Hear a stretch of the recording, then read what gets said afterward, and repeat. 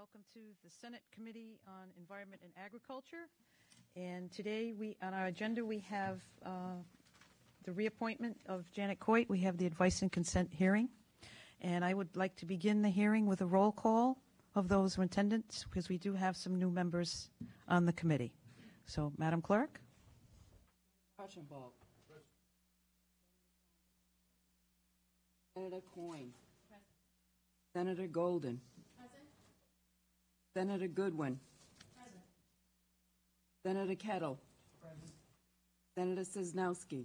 Present. Senator Walaska.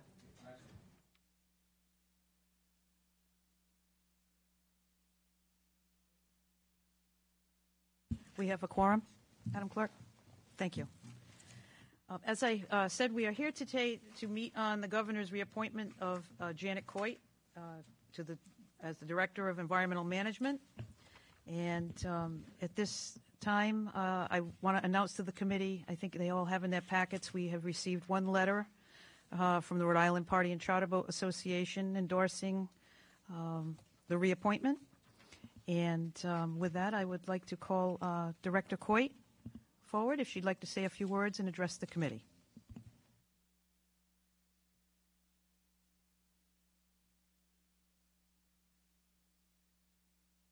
Excuse me, uh, Madam Clerk, Director Coit. Okay. Little change in plan, Director Coit, if you'd like to step over beside the clerk and um, so everyone can hear what you have to say, because we all want to hear you. Thank you.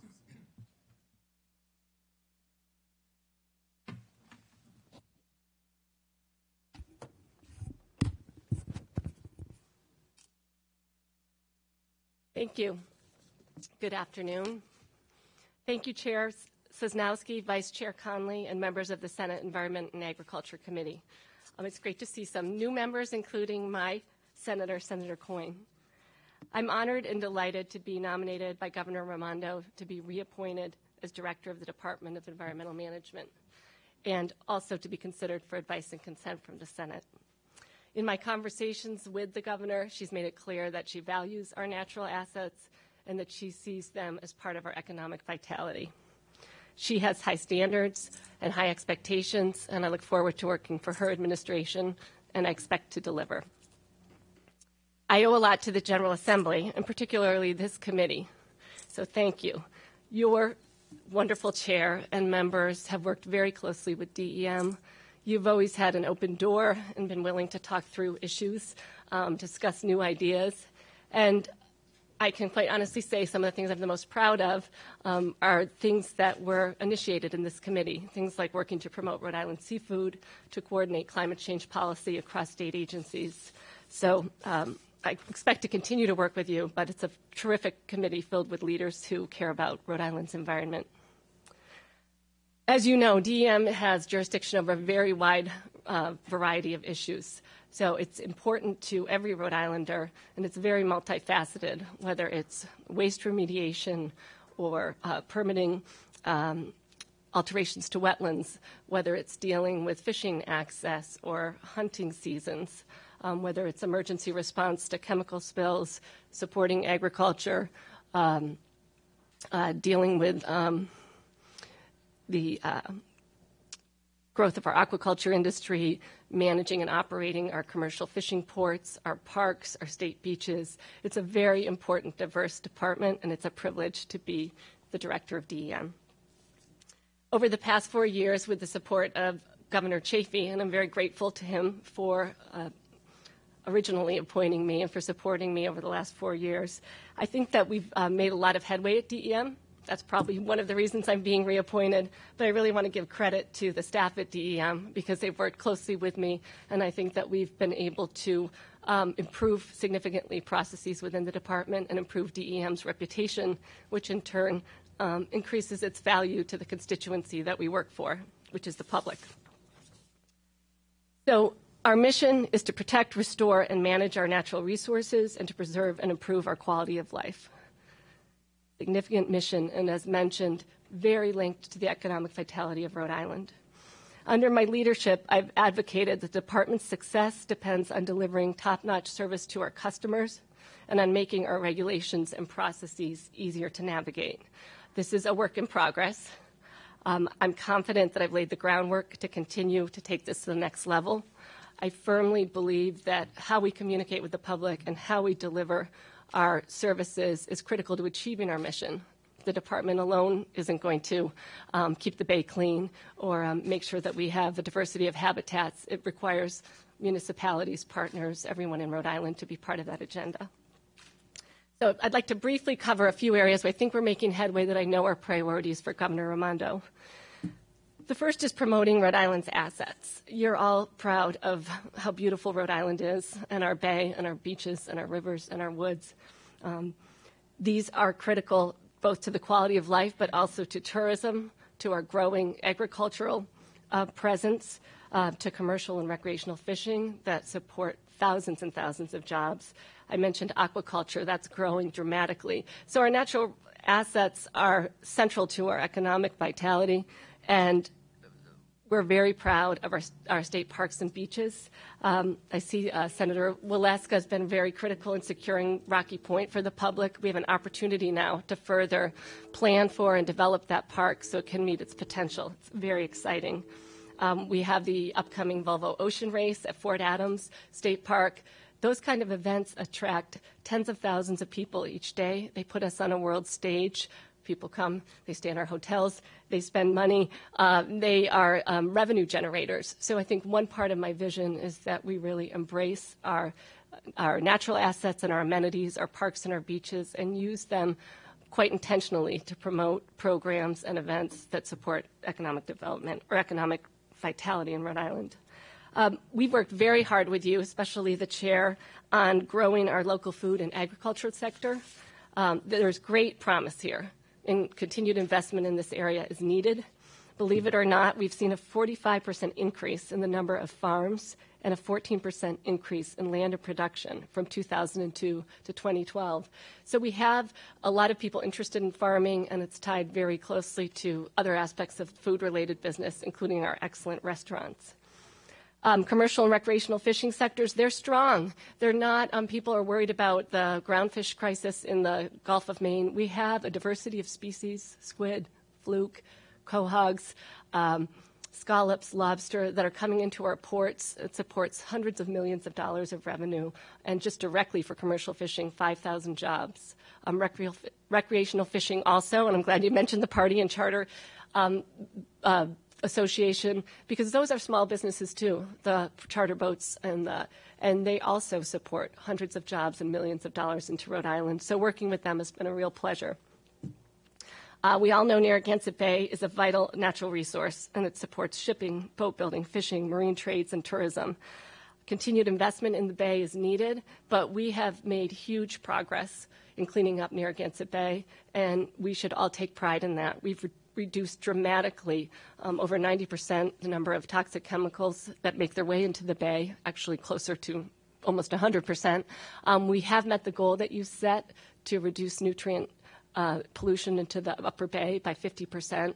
We're seeing areas that are um, open to swimming for the first time. We're seeing areas um, where people can shellfish and continue to harvest after um, intense rains. So we're actually watching the revitalization of the upper uh, Narragansett Bay. So that has cost ratepayers and taxpayers money, and there's more work to do. But when you see something like the Providence Boat Show um, that's opening on Friday, supporting marine trades, they're very into recreational fishing. They actually have a fresh um, catch section where they're promoting Rhode Island seafood. It's all linked to our environmental quality. I wanted to mention um, brownfields remediation because that's another area where I think um, we have both a great track record but more opportunity ahead. You included in the bond that the voters approved last November $5 million for um, a brownfields remediation program. And we have thousands of those sites across Rhode Island. We do a pretty good job now. I think we could do a better job. And work to incentivize people to reuse these former industrial sites using that bond money to help motivate assessments and remediation, and then um, trying to do more to expand our pad ready concept that we used at Quonset and um, Mr. Leader with the I-195 lands to try to do the permitting and the work ahead of time so, th- so that these sites are ready for safe development, redevelopment. Um, finally, I, I wanted to, to, end this part by just talking about the way that climate change intertwines with any of these initiatives. Um, you've been leaders on this committee and taking a look at how climate change affects the environment and the economy of Rhode Island. Um, it's something where we need to be practical. It's happening. Um, the bay's warming, sea levels rising, and what we want to do is make sure that we have strategies in place. We're seeing it already in our commercial fishing industry. We're doing a major port improvement, and we're accounting for the fact that we have sea level rise at a constant rate and that we have storm surges that we need to anticipate and plan for. So I just wanted to commend you and say that being practical and thoughtful about how the state uh, addresses climate change is good for business and it's critical for our, for our communities, particularly coastal communities, but it's also true on our rivers um, and in general in our urban areas where we're seeing heat effect and other issues with air quality. So that's a huge challenge, but something where I think Rhode Island can be really best in class because we're already stepping up and doing a lot of work and we have um, a coordinated um, discussion going on amongst our state agencies. So thank you for supporting that work. And that really does intertwine with everything that DEM does, but it's much, much broader than DEM. It's about energy policy, it's about infrastructure, it's about health. Finally, um, probably what I'm the most proud of, and when I look back, is working to improve the culture and the in, um, to promote customer service within DEM. So I think you know that um, Amica worked with uh, DEM to to produce a training program where we trained every single staff person and tried to develop new protocols and just to be responsive and respectful to people. And again, you have to constantly remind people to do that. Um, but we also found um, a way of addressing our business process improvements through what's called lean, and I've briefed you on that before. But it's been very successful at engaging the folks at DEM and taking a look at permit processes, particularly high volume areas where we focused initially, and looking where we can reduce steps in the process, standardize our approach so that we can deliver clear, predictable, reliable, and more efficient results. So that's been, um, there's dramatic. Uh, uh, tangible benefits to that. Um, one of them was our new permit application center, where we have one consistent way for all permits to come in and we have uh, notice to people within 24 hours whether the permit's complete and where it's gone. And then we have um, better information for tracking the permit turnaround time so that we can troubleshoot and make people accountable. So it's something I'm talking to the new Commerce Secretary about, and it needs to be expanded. Uh, but it's needed. Regulatory reform isn't just um, eliminating old uh, anachronistic regulations. It's also just providing good communication and uh, clear processes so people know what it is they have to do, and then we have to live up to providing the, the service in the time frame that we set out. So that um, we're launching the second phase of Lean, and I'm involved in a lot of exciting conversations with the new administration about how Lean can be useful uh, it, for DEM and other agencies. So I think that there are many challenges, um, despite some of the budget issues that you're confronting, um, despite some of the areas where we have um, lost FTEs. It's a time of great opportunity. And um, given the beauty and diversity of our natural assets and how they attract people to Rhode Island and how much people care about the environment in Rhode Island, that environmental bond was the highest, maybe not more than some of you, but it was the highest um, vote, uh, it received the highest percentage of votes of all of the um, bonds that were on the ballot and all of the major statewide races. And to me, that says that people across Rhode Island really care about the quality of the environment. So, uh, what I'd like to do is continue the momentum, um, work with Governor Raimondo and all of you to further promote the work that we're doing at DM, um, connect the environment to the economy, which is an obvious connection, um, but one that sometimes people don't see clearly. So, what I can do about that is promote what's uh, special about Rhode Island, um, and whether it's uh, eating fresh corn or reeling in a stripe, uh, striper or looking, you know, through your binoculars at a diving harlequin duck off Sachuest Point. Um, they're really special aspects of Rhode Island, and if we all celebrate those, I think we promote the brand or the things that are that uh, make Rhode Island a place where people want to live and work. And so I'm very eager to work hard with all of you and continue that work at DEM. And I'd be love to talk with you further or to to address any questions you might have. So thank you. Thank you, Director Coit. Uh, Are there any questions from committee members? Senator Walaska? Thank you. Uh, I think my mic is on. Director, I, I'm glad you mentioned at the end of your uh, uh, talk uh, about the culture of DEM. I, I think under your direction, DEM has come a long way in trying to change the culture. Because if you talk to the business community a number of years ago, uh, business people, if they they were they had to deal with DEM, that was probably a real trial and tribulation for them. Uh, and I still hear that to a certain extent.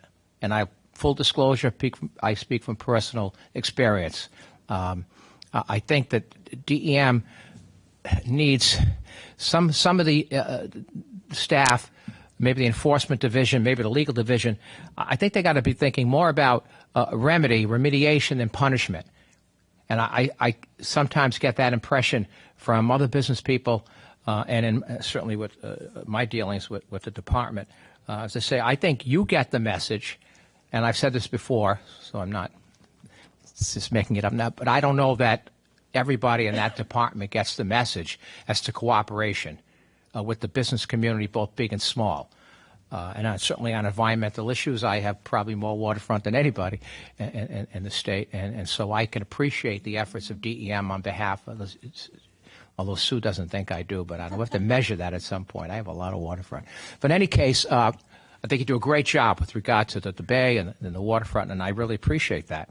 Um, so I, I make that comment. The second one is you mentioned Rocky Point, and I, your efforts uh, and DM's efforts and, and the city of Warwick, Scott Avedisian have, have been very fruitful, and the park's beautiful.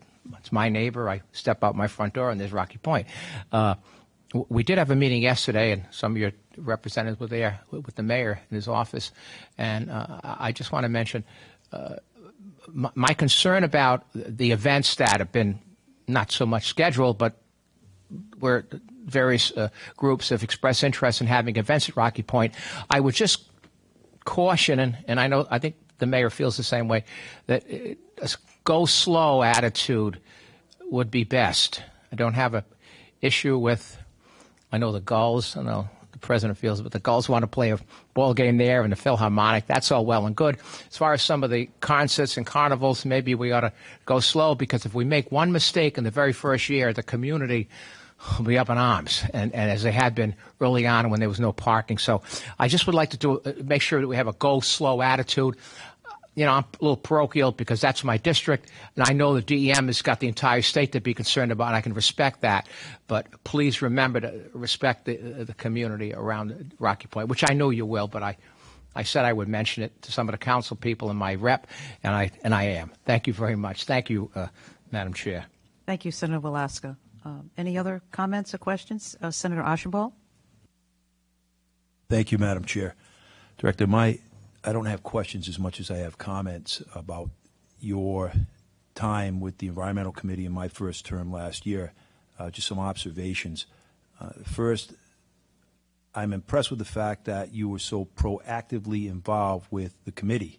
I saw you virtually every session, if not every session, and you were a stalwart advocate for the different issues that you've touched on today and that you believed in. Uh, secondly, you have a passion to you that uh, is about you even as you talk now, where you really uh, come off as extremely sincere, and, and I know you are. And I think that without passion, uh, one can sort of get flat in their effect and not really want to achieve the objectives that they set. Well, you, you've got an overabundance of passion. It's, it's all about you, and, and I think it's worth noting that because you take it. I'm not trying to flatter you. I'm telling you what I really see. You carry that about you when you're in committee and when you testify, and I admire that.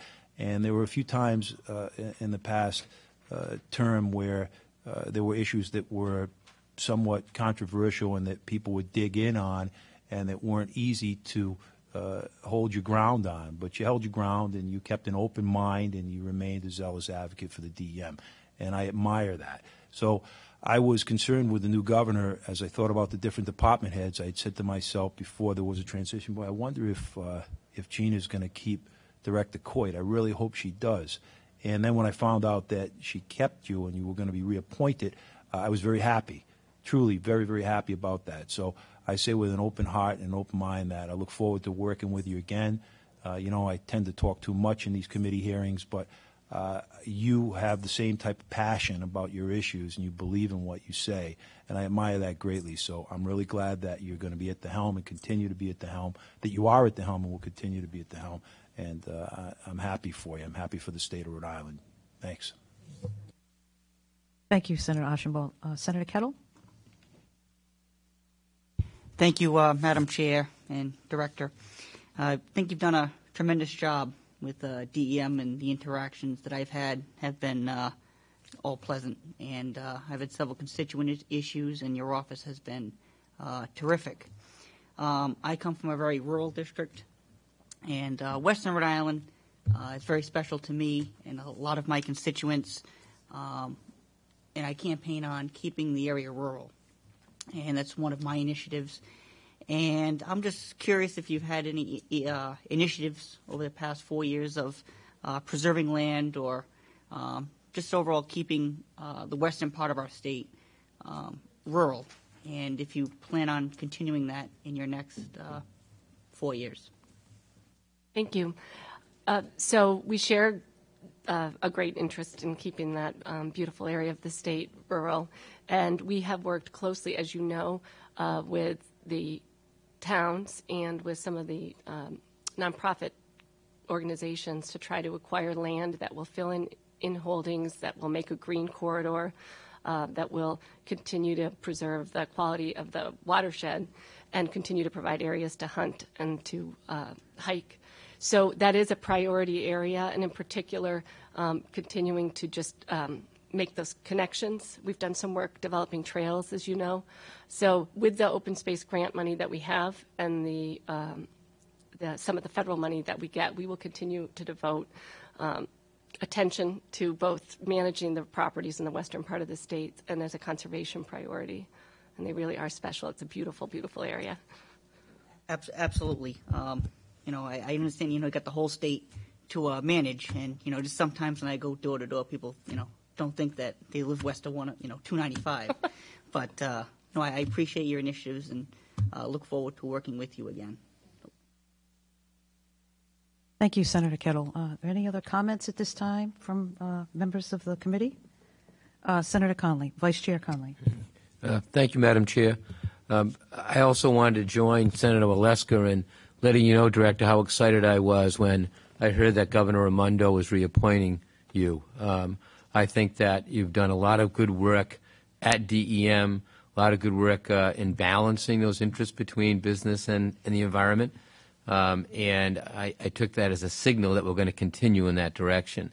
Um, one of our guiding principles um, has been that we want to communicate to the state that what's good for the environment is good for the economy, and I think you've done a, a great job in doing that.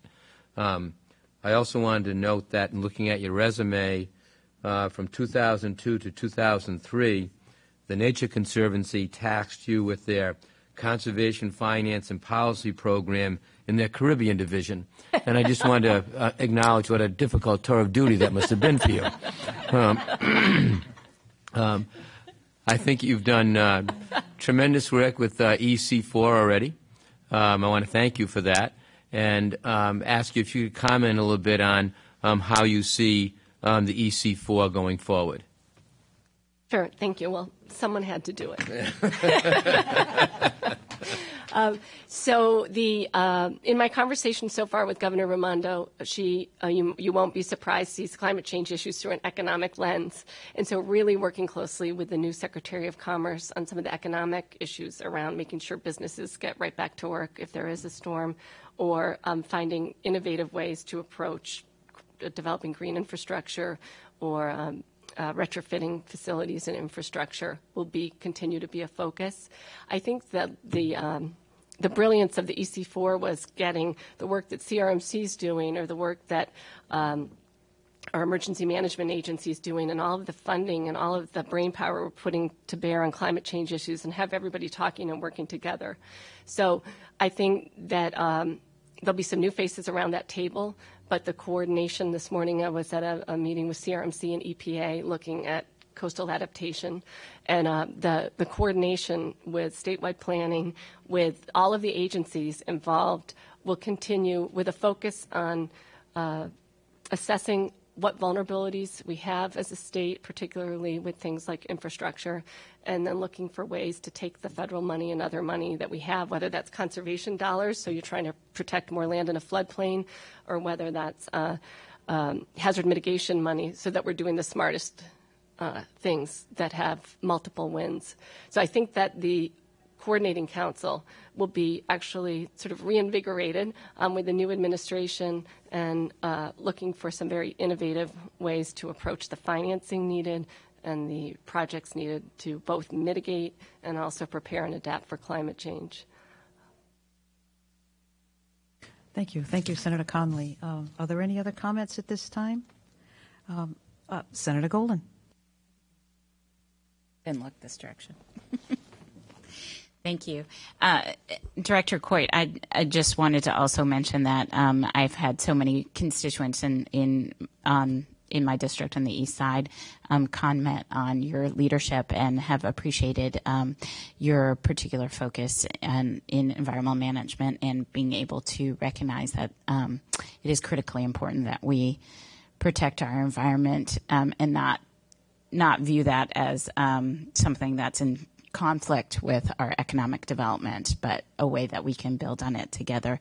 So I want to pass that along and thank you so much for your work. And it's been a pleasure to work with you over the past couple of years. Thank you, Senator Goldin. Um, before we have final comments from the committee, um, I want to uh, let everyone know that we have a witness sheet here of one person, uh, Al Betancourt from Rhode Island Farm Bureau, who is not here to speak but is in uh, favor of uh, the reappointment. And I would just ask if there is anyone who has come today who would like to speak and had uh, signed up. And if you'd like to come forward, please. Uh, if uh, Director Coit wouldn't mind. No, I'm happy. You can relax a little bit for a moment, Director Coit. Okay. Thank you.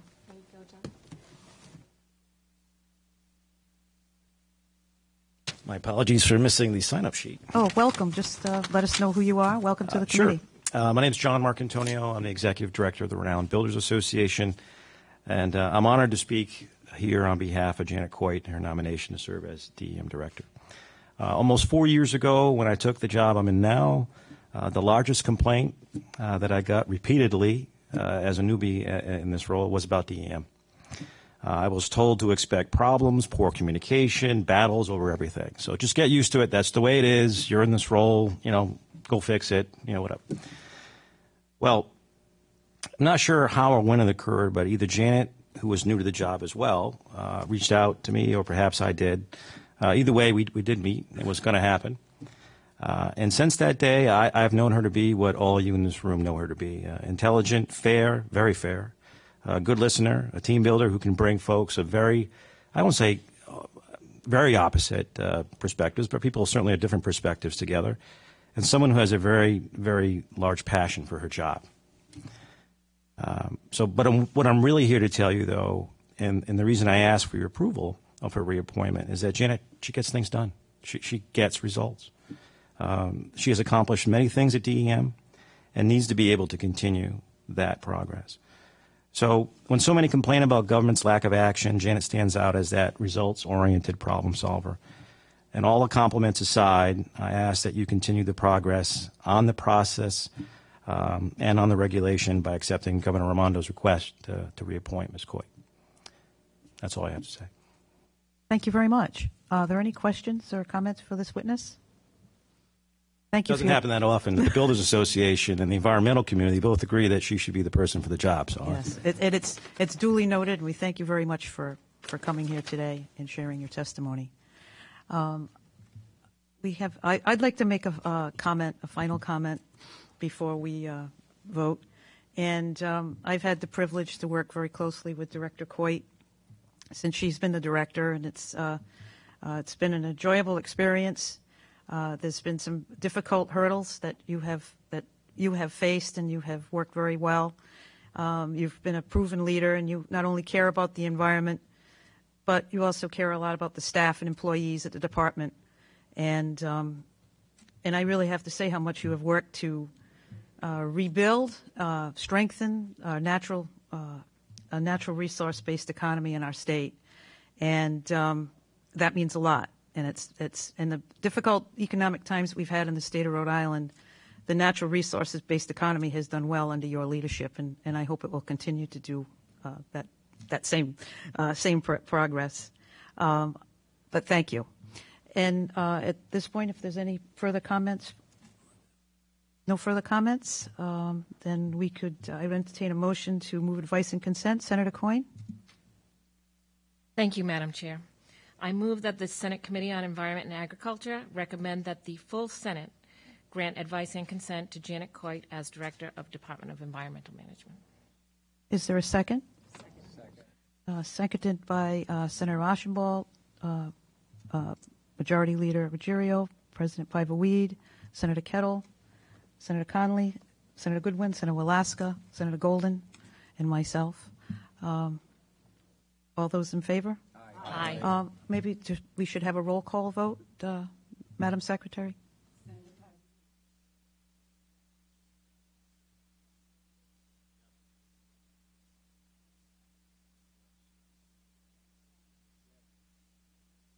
Yes. Senator Goldin. Yes. Senator Goodwin. Yes. Senator Kettle. Yes. Senator Sosnowski. Yes. Senator Walaska. Yes. It's unanimous, and uh, congratulations, uh, Director Coit. The Senate Environment and Agriculture Committee recommends that the full Senate grant advice and consent to your reappointment uh, as Director of uh, Department of Environmental Management. Congratulations.